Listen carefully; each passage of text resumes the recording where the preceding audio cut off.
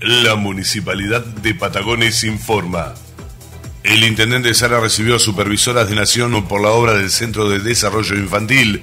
El intendente municipal, ingeniero José Luis Sara, recibió en la mañana de ayer en su despacho a las supervisoras del Ministerio de Obras Públicas de la Nación, Carolina Molinari y Gabriela David.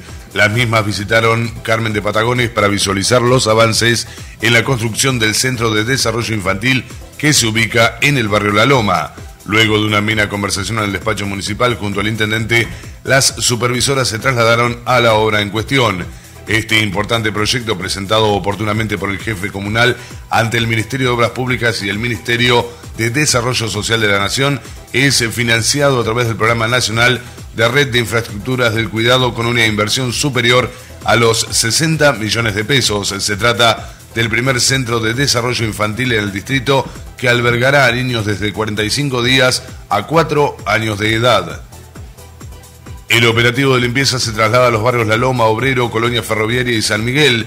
En el marco del cronograma dispuesto por el área de servicios, se informa a la comunidad que a partir del 12 de septiembre el operativo de limpieza se trasladará a los barrios La Loma, Obrero, Colonia Ferroviaria y Barrio San Miguel. El servicio que se prestará en estos sectores hasta el 24 del mismo mes es gratuito y tiene como objetivo despejar las veredas de los residuos voluminosos no domiciliarios para garantizar la higiene y mantener en buenas condiciones los espacios públicos. El intendente Sara se reunió con el representante de la AIC, Javier Reyes.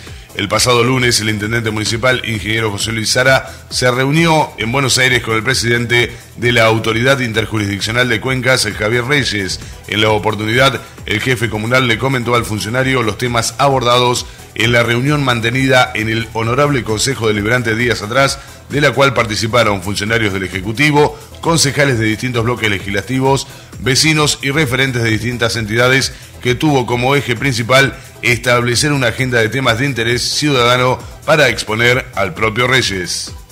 Gestión José Luis Sara Intendente.